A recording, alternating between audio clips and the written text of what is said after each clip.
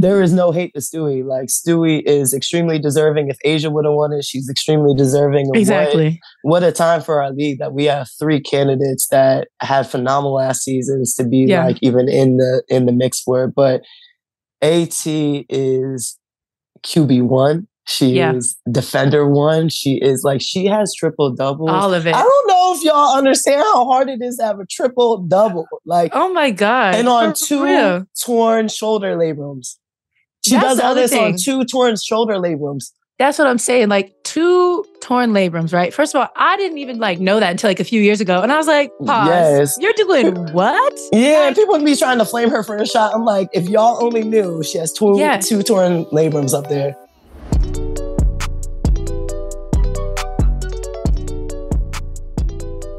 Presented by State Farm.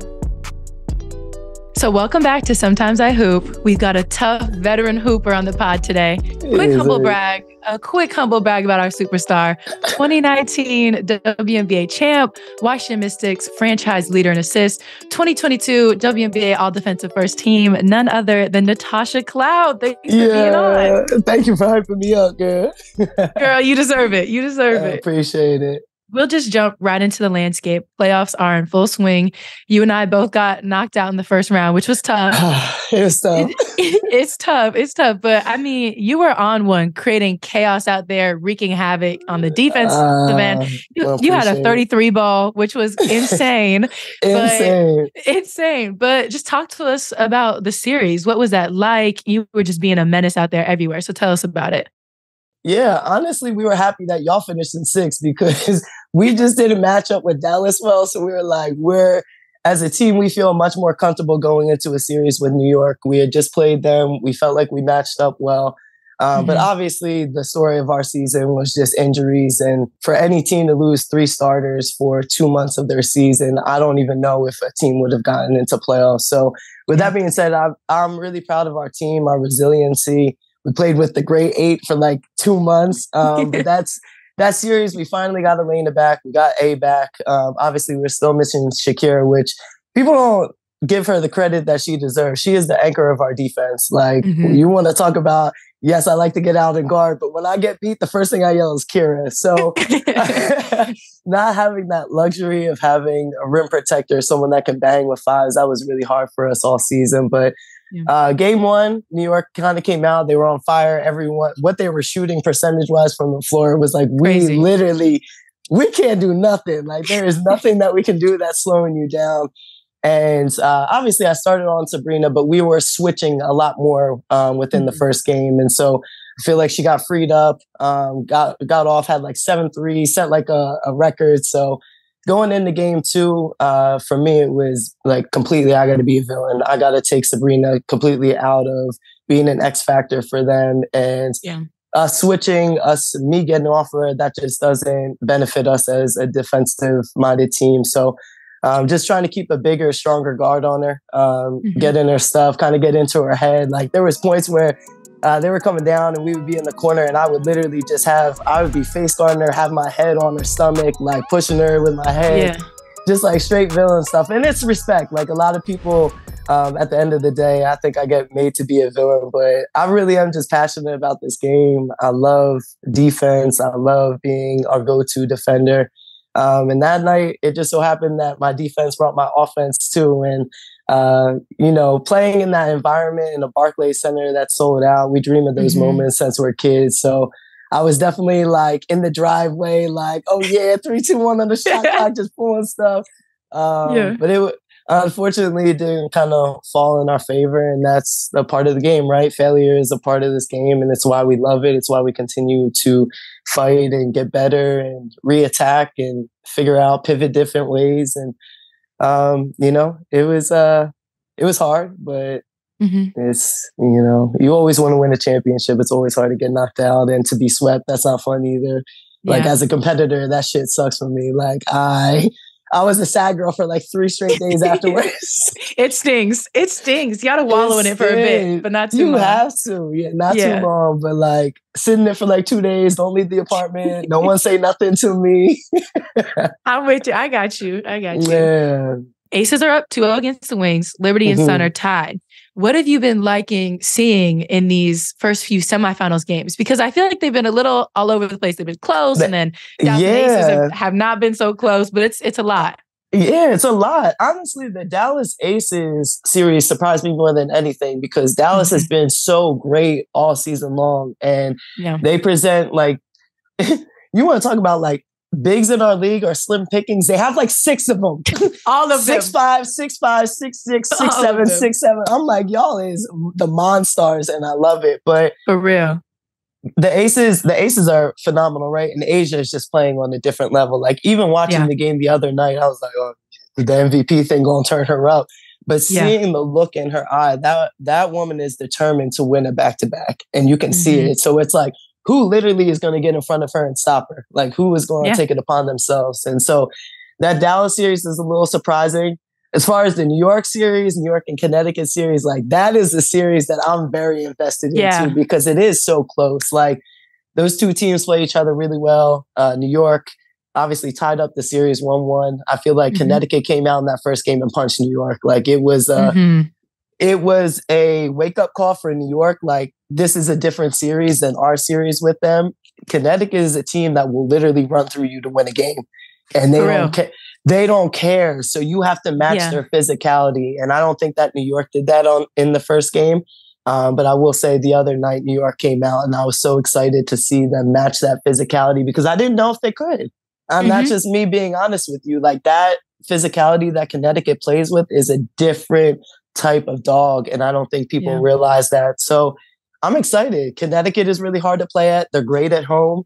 Um, It's really hard to get a win in that that building, but New York is just a great team. I would like to see Stewie get going. I would like to see Mm-hmm. them get Stewie some easier touches early, so she's not shooting contested shots all the time. But Yeah. um, other than that, Betnijah Laney has been the X factor for them and she's not about talked about that. enough. She is not talked about enough, and it makes me so mad because you can have those franchise players, and we right, we love it, but Mhm. you they the only way that franchise players are franchise players is if everyone else around them does their role, and Mhm. Naj does her role to the best of her ability and plays hard every single night. She brings it every single night, whether Yeah. they have it or not. So. Um, I just want to make sure I give a shout out to her too because she's playing phenomenal. I mean, in this playoffs right now, we have so many heavy hitters. We have all three of that MVP race. Stewie ended up getting it. Okay, what did- was your opinion? I was, I was about to ask you. No, okay, so you my my prediction prior is I always laid it out. And first of all, three of some of the most amazing players we've ever seen. Right? amazing, amazing, Like, amazing. all of them are having these stellar seasons as they all always do. And so I was like, okay, A'ja gonna do her, Stewie gonna do her. But for me, AT Talk about having it. Having a it. season like this where you're averaging almost a triple double Mhm. and you're doing it on a team where, you know, Brionna Jones, who's an all-star, goes out. Connecticut would not be where Connecticut is without. AT doing what she's doing. That's so my argument. I was I've always been like, you know, AT and Stu, I mean Stewie and A'ja, amazing, amazing, MVP caliber Amazing. seasons. But you take A'ja and Stewie off of those teams, you They're can talk so about good. aces, Kelsey, Jackie, Chelsea, right? You just go They on and on so and on. Good. Exactly. But you take AT off of Connecticut and the value that she brings there is it's it's not the same uncomparable. Exactly. So that's always been my argument. But flip it back to you. It seems like we have a similar point of view We going do. on here. We do. I, I think because we both appreciate underdogs too, right? Yeah. Of like, yeah.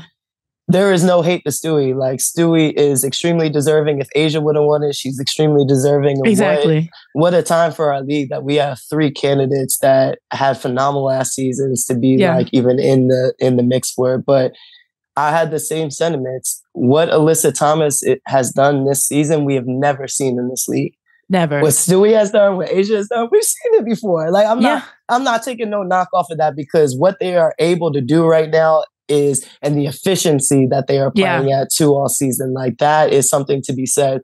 But again, if you take AT off of Connecticut, they are not in the semifinals. Yeah. They're not even close. I don't, I don't even know for real, like what if, if they would. I'm gonna say they would be in the playoffs because DB is still tough. Like they have Mhm. other pieces, right? And Tiff and Beck, but AT is QB one She Yeah. is defender one. She is like she has triple doubles. All of it. I don't know if y'all understand how hard it is to have a triple double. Like Oh my god! and on For two real. torn shoulder labrums. She That's does all this on two torn shoulder labrums. That's what I'm saying. Like two torn labrums, right? First of all, I didn't even like know that until like a few years ago, and I was like, "Pause! Yes. You're doing what?" Yeah, Like- people be trying to flame her for a shot. I'm like, if y'all only knew she has two Yeah. two torn labrums up there. And then you take that into account. She's doing all of this. No three balls. You're no three balls. Zero. Triple dubs, no three balls. It's like And you get the way that you guard her. Exactly. And then on top of that, you're doing it from a forward position. And then you take Brionna Jones out of the equation. She's kind of playing the center in their starting lineup. So She for you to be for you to be averaging a triple dub playing the center is insane. You're out it's here guarding insane. you're you're guarding Big T, getting a triple dub, grabbing rebounds, doing like- whatever. So that's the frustrating part within like the voting around our league is like yeah. There is bias. There's the fact that someone gave A'ja Wilson, and I'm I am determined to figure out. I am determined Who? to figure out who gave A'ja Wilson that fourth place because you got to see me, and that's not even my teammate. You got to see me. Who's voting? I The wanna media, who, who the gave the media, fourth the- place vote, the media, the media. which is crazy. At would have been voted MVP if our league Yeah. voted. Like if players voted, coaches voted. I, I, I really do feel like At would have won because we see her, and we Mhm. all we all are in some way being like, you know what, damn, like at some point you got to give this girl her flowers before it's Yeah. too late, right? So, I mean, it is what it is. Again, I like congrats to Stewie in all of this. Mhm. I don't ever want to take away from Stewie and the player that she is. And unfortunately, I don't think that's what the media understands is because they vote with bias. Now Stewie gets looked at like, oh, well, you didn't deserve this. No, no, no, Mhm. no, no. You you played a phenomenal season. You deserve this. But what AT is doing on the other side has never been done in our women's game ever, ever.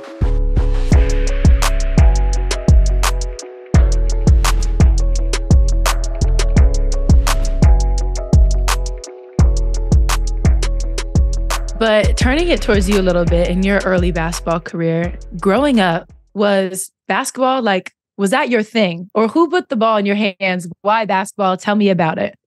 growing up in a in a middle class family, right? That my dad's working two jobs to keep a roof over our head and food on the table. Like I knew basketball was my way out, and I feel like Mhm. a lot of people that look like us, that is the case. And so, understanding that I could go get a college degree that I wouldn't be able to afford elsewise, Mhm. that I can potentially go try. And obviously, I didn't know I'm a mid major kid, so I'm like. The WNBA, they're they're not even necessarily like on my radar. It's just like, Yeah. how can I put myself in the best position moving forward through this game that God has given me, like this beautiful, beautiful game. And, you know, then I go to St. Joe's, I start going crazy, and I'm like, hold on, like we're playing like we played Maryland after the year Mhm. I transferred out of Maryland. Mhm. We beat them. They were top five in the country at the time. Played Syracuse when Slim was on there. We lost by one. So we were playing all these top teams in the country. Went to Notre Dame, only lost by like seven. yeah. And in that, I was like, oh no, I can do this. Like I'm guarding hey.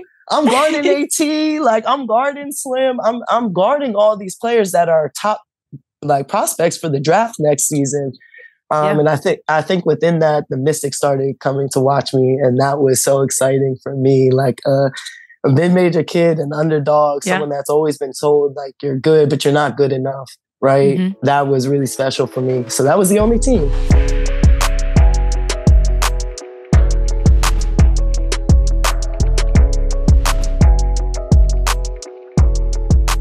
15th pick early in the second round, and the Mystics being the only team that reached out.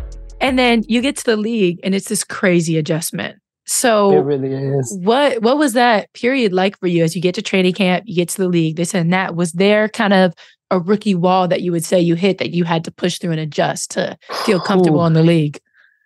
So I will say when I when I came in, even though I was drafted, you know, as uh, as a draft pick, like you still have to earn your spot. No guarantees. People don't There's like none. we don't talk There's about none. that. There is no guarantee, so you still have to earn your spot. So I very much went into that training camp like I need to bust everybody, like Mhm. including the people that have already been on this team. But Mhm. again, it's another level. So high school to college is a different level. College to pros is a different level. And I would even say like even college to overseas and overseas to the W is a whole other level. Yeah. So, and as a point guard, you're hitting the ground running. Like it was my rookie moment, like my first year. It's just like we have 20 plays in this playbook. I have to remember mm-hmm. all of mm-hmm. them. I have to be able to put you and be confident enough as a 23 year old to tell a 31 year old, get your oh, ass yeah. to the block. Mm-hmm. I'm mm-hmm. like, hey, do you, mind, like, maybe hey, if yeah. you're free going to that block? Excuse me, if you had the time of your day, I would really appreciate. And it's not just like learning the place for yourself. The thing that got me, that T gets on me about, is you have to know the place, but you have to know where everybody else is. On yes. top of that, like I have to know what actions Ryan likes, what action Alysha likes, yes. where CP wants the ball, and I have to know all this. And I'm like, all of that. What? You're like, I'm on overload. I I just brought yeah. myself to the game today. Like that was a win it. for me. That was a win for me. I'm here. yes, I made it here. Be proud. Yeah. Just talking about um, you know, trades. Nobody's safe in this league, all this different stuff. You uh. acquire a Hall of Famer, Elena Delle Donne, right? Uh-huh. What is that like? You come back from Australia and now you have these amazing, uh, more amazing players with you. What is that like working somebody of that caliber into the oh, team. Man. You being a point guard, learning how to play with somebody like that, the tendencies, all these different things. What is that experience like? It has been the greatest blessing to my career to play alongside Elena Delle Donne. Um, mm-hmm. She is truly, truly. I I don't care what people are saying um, after this season. Like, I'll get into that later. But this is to me, this is the best player in the entire world. I played with her for six years and I got to witness and experience her greatness. And not mm-hmm. only experience her greatness on the court, but experience her humbleness and her heart off the court. And I think yeah. sometimes, which I love our league, because I feel like a lot of the franchise players are like very just dope and down to earth, right? But you do have the, the, some of those franchise players that you're like, wow, okay, have you lost touch with reality? Because yes. we're here on planet here.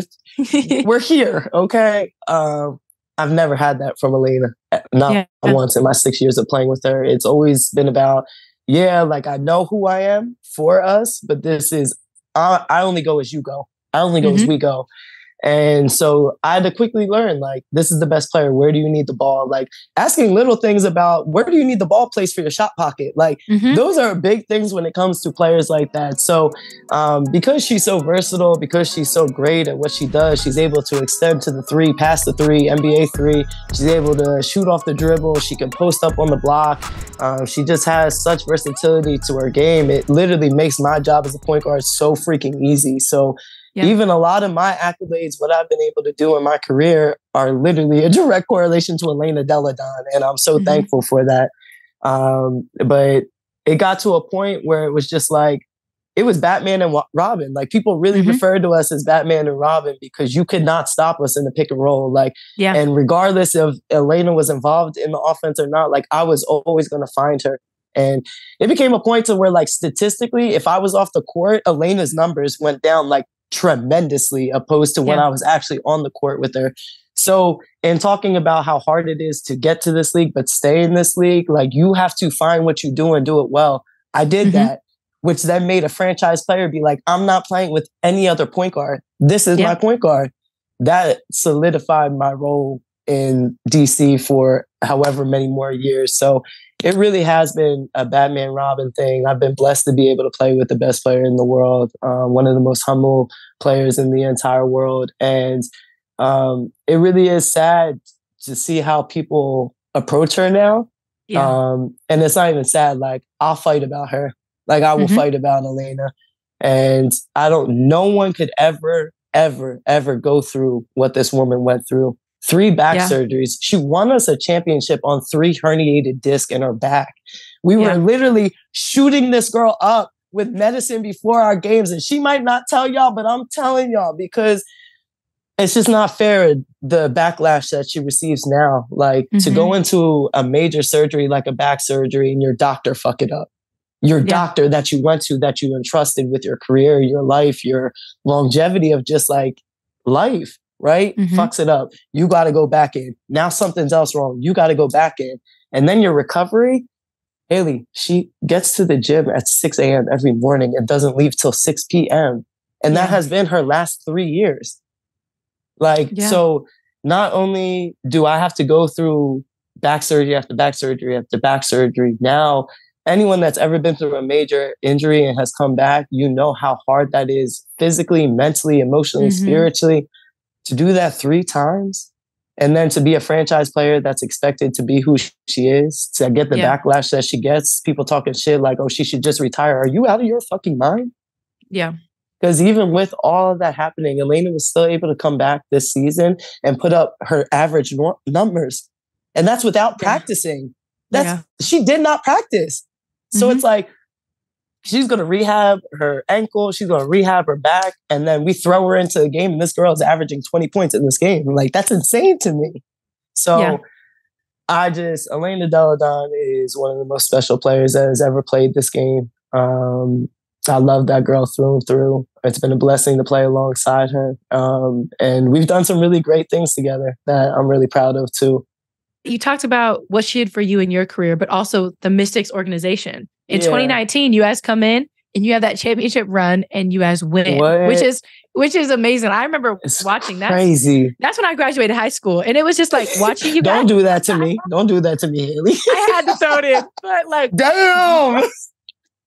Watching, damn. watching how the city got behind you guys, and just the just like the influence that you guys had that year on the WNBA was incredible. So. What? Talk me through that final sweep, just that whole year, how that season went. Because when she came in in 2017, and then all of a sudden you guys win two years later, mm-hmm. it's it's an insane turnaround to have. It's an insane turnaround, and we almost we almost fucked around and won the year before, but we just met yeah. a, better, a better Seattle team. And like, they were crazy that year too. Oh, what? Because they, they, still had Stewie, Tosh, uh, Sue, Alysha Clark. Like I yeah. was like, this is unfair, bro. It don't matter what we do on defense. Like you have a counter yeah. to everything. So mm-hmm. when we lost in 2018, we sat in that locker room, and after the coaches left, we were like, we essentially Seattle is the version of ourselves that we want to be. We're not mm-hmm. there yet. We just saw that we're not there yet, but we're right there. So yeah, you can if, be yeah, like we can be. So if each of us leaves this locker room and approaches this offseason to get 1% better and to bring that back to this team, we're going to win a championship the next year. Mm-hmm. So the whole offseason, we all like, you know, it's, it's hard to stay, you know, see, it's hard to stay attached to your teammates in the offseason, like overseas and life and everything's going on. We all stayed so attached to that offseason and it was constantly run it back, run it back. Like, yeah. you know, when you, when you on when you're playing like pickup and you get scored up, run that shit back. Like, mm-hmm. so that's very much what our mindset was going into that 2019 season. And all of us did what we said we were going to do. We came back 1% better. So that whole training camp, like, I can't tell you, we came in, I was like, we look scary good. Mm-hmm. We have Elena Donne. Our starting five was me, Kristi, Ariel Atkins, Elena Delle Donne, Latoya Sanders, which Latoya Sanders, our coach, she doesn't get the credit that she deserves. She was our anchor for everything that year. Mm-hmm. Off our bench is Emma Meesseman. That's Emma crazy. Off the, bench. Off the off bench. The bench. is wild. It's you have wild. an all-star. You have one of the best players to ever play in the W and doesn't get the respect that she deserves either coming off our bench. So yeah. We were just, we were scary. And I'm telling you, I've never felt more confident than that season. It didn't matter what game we went into, it didn't matter who we were facing. I was like, we're going to win. So we yeah. set all these records, we set all these offensive records, all these WNBA records as a season. But in our locker room, we had this biggest target on our back. But in our locker room, pressure is a privilege. Like, mm-hmm. this is exactly where we wanted to be. This is exactly what we set out to do. Pressure is a privilege. Seeing the Aces in the semifinal, that was scary that was scary because yeah. they still had Liz. It was a really good matchup. Took it to game five. Um, and we came out of that going against Connecticut. That was like, who it is. We are going to be battle tested. And it went to a game five. That's probably the best series, championship series in the last few years. And I'm not just saying yeah. that because I played in it, but you just literally didn't know who was going to win. Mm-hmm. And uh, that final game, there was a point where it was like four minutes left. We went, or like six minutes left. We went down by eight. And I was mm-hmm. like, oh shit, y'all. And then here I come. I hit two threes. We right back in. here I go. here I go. We hit two big, and I had not hit a shot the whole game. Like mm-hmm. I say that because I had not hit a shot the whole game, and here are my teammates still being confident in me enough. I think one came from Emma, and the other one came from Kristi Toliver, passing me the ball to shoot the three and being like, mm-hmm. "Shoot that bitch." Yeah after I hit those two threes, we didn't look back. And when that mm-hmm. final buzzer went off, I ran to Elena. Like I dropped the ball before the ball, like the clock even went down. And I looked at her and I was like, we fucking did it. Like, yeah, we did it. And to see, like, as a point guard, there is nothing more that I wanted to do than to bring Elena Delle Donne her first championship. She had every accolade in her career except for a mm-hmm. WNBA championship. That's why she came to us. During that year, 50, 40, 90. That's what yeah. that girl was. 50, 40, which is, 90, MVP. Which is incredible. Never incredible. been done in the women's game before. Mm-hmm. Like, again, three herniated disc. Three herniated yeah. disc, and we won. Um, and DC was behind us. When I came in to DC in 2015, no one knew about the Mystics. Yeah. Now, uh, we can't walk anywhere without being noticed. And that's like, that is the coolest thing for me to see because that means we're having impact on our community, mm-hmm. right? That mm-hmm. means that like our community is coming behind us. So I don't know. That was such a surreal moment for me being a mid-major kid and underdog. I mean, I ran to my mama. Like as when I was done hugging the lane, I ran up into the stands, ran to my parents and my family that was up there just boohooing, crying, and mm-hmm. I just I can't even tell you that moment was so surreal. But I will say I'm pissed we never got a parade. We never got a oh parade. You never did. COVID happened. COVID happened right after it. Gotcha. So it was like, y'all gonna run this parade back because we fucking deserve that shit. We um, deserve. We I'm like, I want to be drunk on the bus too, running through the city. Like, I want to be like A'ja drinking Four Lokos out here too.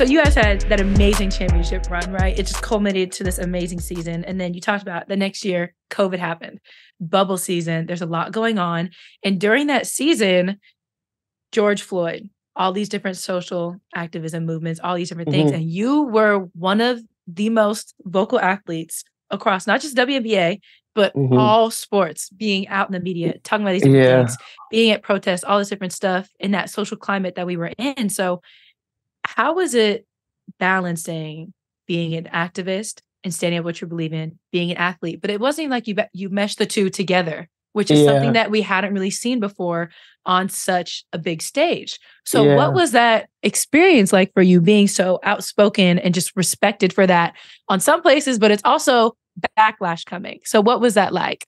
In 2020, that decision, that was the hardest decision of my life to sit that year out um, yeah. coming off a championship, coming off a personal best season for me. Mm-hmm. I woke up one morning and was like, "This is what I'm finna do," because I this has been weighing on my heart, and I don't feel like I can go into the bubble and be a champion on the floor and for my team, and also be a champion in my community as well.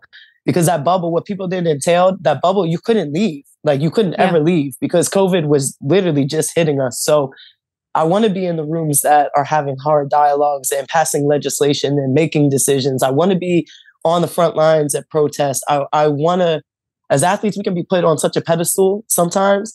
Take us off because we face these same mm-hmm. problems every single day. And you guys need to see us as a part of the solution. And so the only way that we can bring a solution is by listening to the people that it affects the most.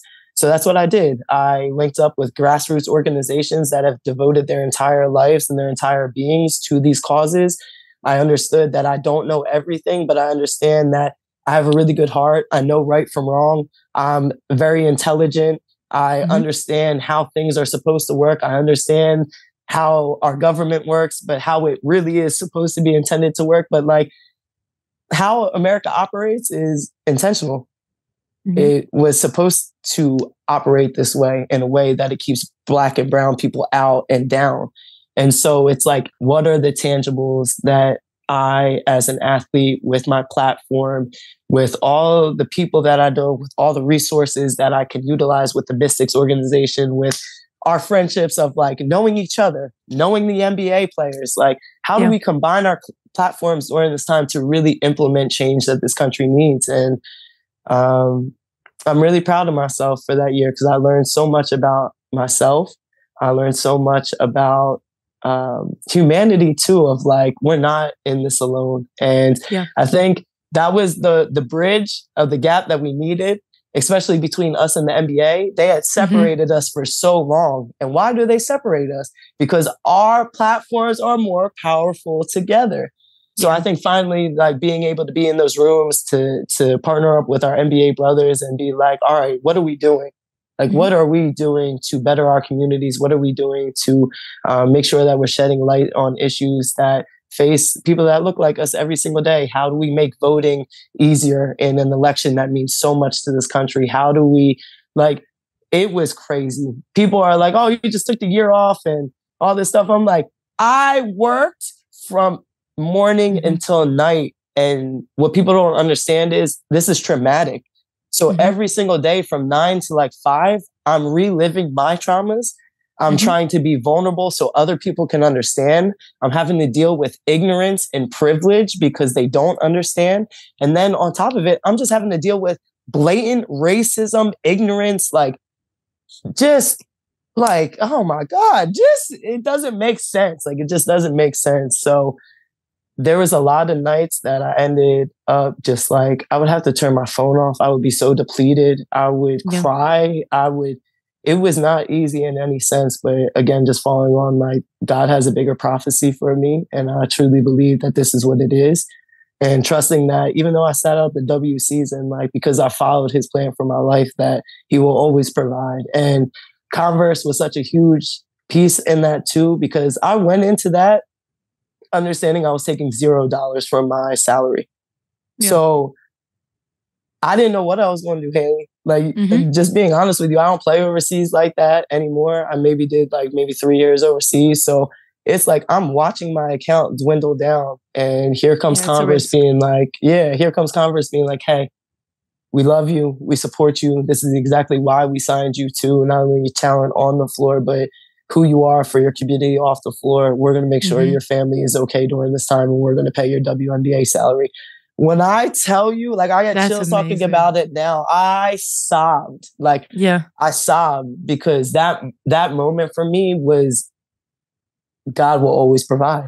When mm-hmm. you follow what his plan is for your life, when you just lean into the things that you know are right, he will always provide. And so I'm really thankful for Converse for that, but also just thankful for the people that I worked with along the way, um, the people that teamed up with me, the people that educated me and helped me be what I was during that time for the community that desperately needed it.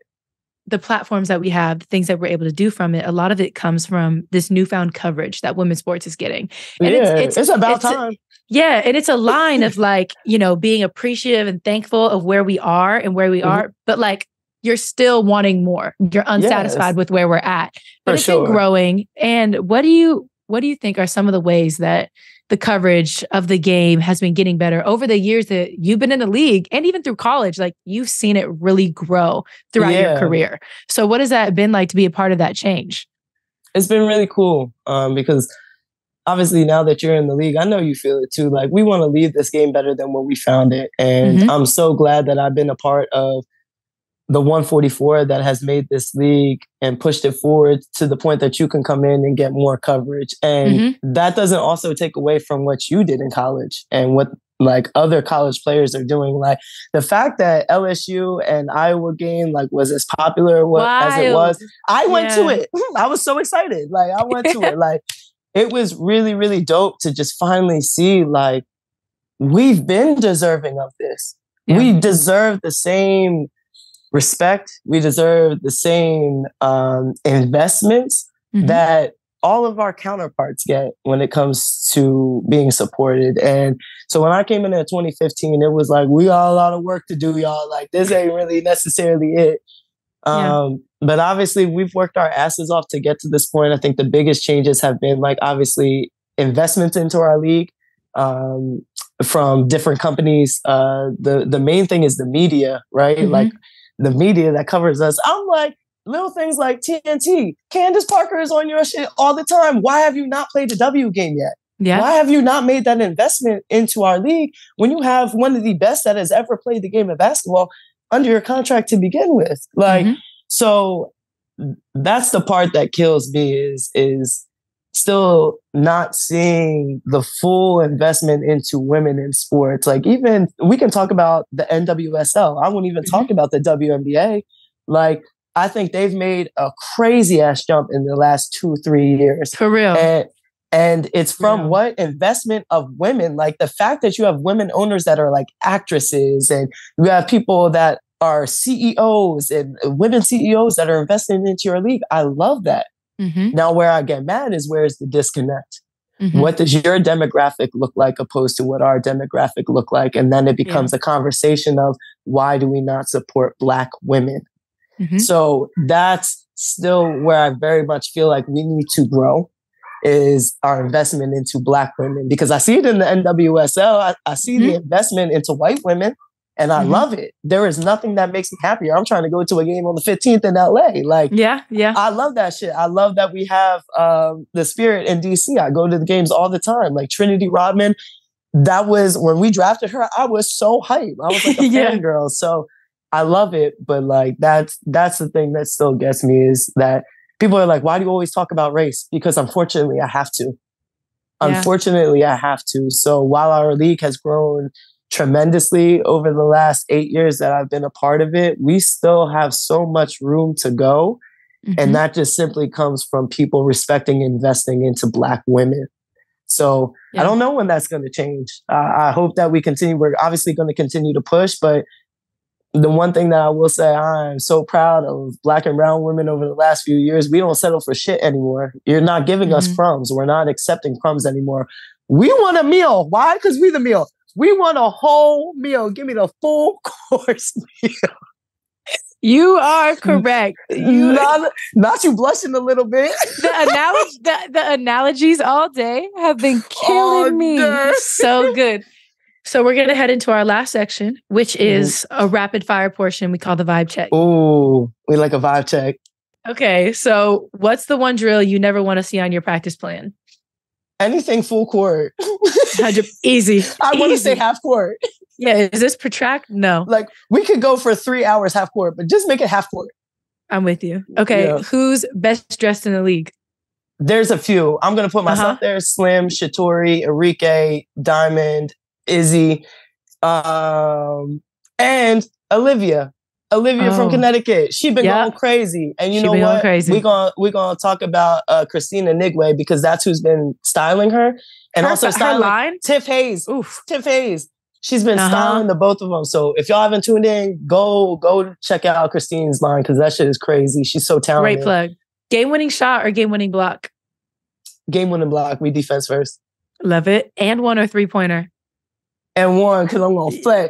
And one! Get some of this? Yeah. Yeah. Okay. Toughest place to play in the W. Ooh, New York. New York is tough. New York is that tough. Is tough. Um, what's your go-to trash talk line? Oh, this ain't what you want. I gotta go with my Philly song. This ain't what you want. I'm weak. No, I've also weak. used I've also used you not about that life because a lot of people in our league tried to talk shit, but I'm like, but you won't see me outside after this, so you're, yeah, not, you're not, about, about that life. All right, those are good. Those are good. Um, who's the biggest trash talker in the league? Oh my gosh, who? There's a lot. I, there's a lot. It's hard to pick. I think recently Tiff is funny. Like Tiff will talk her shit, and that yeah. that's funny. Um, Slim won't necessarily talk unless she's like egged on to talk. Then she's gonna talk her shit. Uh, Marina, uh, Marina's a shit talker. Mabrey, she is a shit talker. Talking. She be yeah, talking. She do be talking. She do be the talking. Other one, the other one people be saying is DT. DT oh, talks. What? Talks. D- All right. Um, who's the hardest player to guard? For me, Satou, because Satou is six five. So there's yeah. like there's only so much I can do, right? Of like mm-hmm. staying in front of her. Satou is really hard to guard. Arike is so hard to guard. That yeah. girl is just like she can shoot when she comes over half court. Yeah. Uh, Tiff, Tiff is another player. Allisha Gray is another player, and Rhyne. Um. Okay, who's got the best handles? Chelsea Gray. Yeah, insane. Uh, insane. Insane. Insane. And then biggest flopper. Oh, Sophie Cunningham. Sophie Cunningham or Sabrina Ionescu. That's a common I'm, I'm saying y'all names. Listen, we love y'all, y'all great hoopers, but y'all be motherfucking flopping out here, and it makes me so mad because they give you the calls. They give you the calls. You're too good. Okay. Um, your your biggest basketball ick. Mistakes happen, right? Mistakes are Yeah. a part of the game. We're trying to be perfect in an imperfect game. Don't make the same mistake two, three times. All right. Don't Yeah. don't make the same. And if another one, if we come out of a timeout and you don't know the play that we just drew up, I'm pissed because you could have asked. You could have asked. Mhm, There was mhm. too much time for you to ask for him to redraw it up or to ask me as your point guard, where am I supposed to be? Yeah. Because now yeah, yeah, yeah. you're running it wrong and I'm being guarded 90 feet from the basket and you're pissing me off. Yeah, yeah, yeah, yeah. That one got some passion. Earbud came flying out. Everybody Passionate. came flying out. You better it. know. You better know. okay, damn it. Like, Okay, I feel like you know your answer, but who who's your goat? oh, my goat always Elena Delle Donne. Yep. My my goat is always Elena. Outside of Elena, Sue is my goat. Okay. Sue is my goat. I Those are good one- picks. Those are good picks. Our last question is your best impersonation of, of Coach T. Give it to us. So Coach G actually doesn't do a lot of like he he won't verbalize his frustration, but like Mm-hmm. he is very much a he's gonna get beat red. And the minute that you see his hands go to his head, he's not he's not like much of a talker, but if he gets but the red hand, the hand, and the face. hand, if the hand goes to the forehead and back, like when I see him do it, it immediately still triggers me to be like, oh, we're Oh, fucking yeah. up. We Oh, are yeah. messing up. So yeah, I feel like every coach, every coach has that thing, and it's just like you you, you freak out. It's like PTSD. It's like oh my Yes. god, I'm oh like my high school coach, my high school coach to this day. If I hear a whistle, I'm like, where is she? She's where here. is she? it's a thing. This has been so much fun. Thank you so much for being you. on. This I've has been loved every so much- moment. I'm glad I got to know you on a deeper level too, because right, I could be a fan from afar, but I, I really am a fan of not only your play but who you are as a person. And I love you and your boyfriend's TikToks. When y'all did that, girl. you are hilarious. You are hilarious. I But love no, him. this has been so great. I really appreciate you coming on. Thank I'm a you. I- huge fan. a huge fan. That's a mutual Huge fan. thing. This has been another episode of Sometimes I Hoop. Thank you, everyone, for tuning in and stay tuned for more.